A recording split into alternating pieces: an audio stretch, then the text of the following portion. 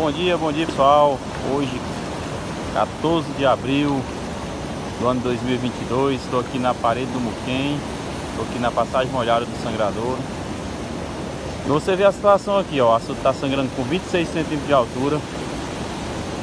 E essa parte que tem aí dentro do açude está sendo levada, arrastada pelas águas desde ontem.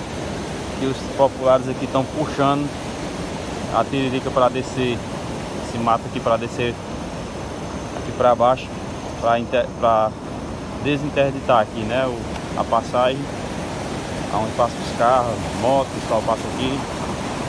O pessoal é com trabalhando. Não falta gente, desde ontem à noite, ontem à tarde, aliás, começou. Mas a situação continua assim, ó. Hoje aqui não passa um carro, não passa uma moto aqui em cima no momento porque está toda interditada. Olha a situação lá, pessoal. Todo canto que você vê aí, ó. Tá coberto de parte de tiririca. Essas macrófitas aqui do, do açude. São muitas. Olha lá, ó. Aqui pessoal, olha aí.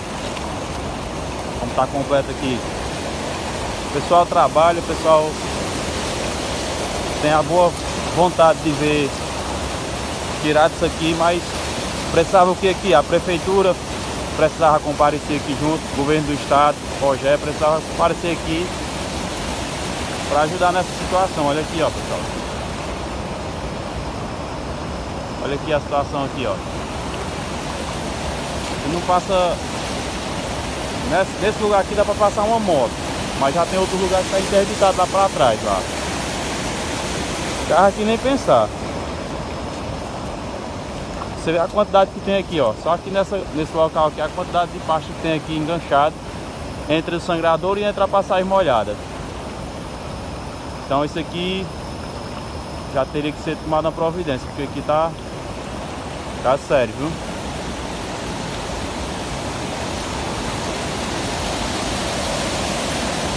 A sangria tá bonita aqui, ó. Com 26 centímetros, bastante água. Pressando mesmo aqui é de um suporte aqui, né? Através de prefeitura ou governo do estado para limpar isso. Bom dia, bom dia a todos. Tchau.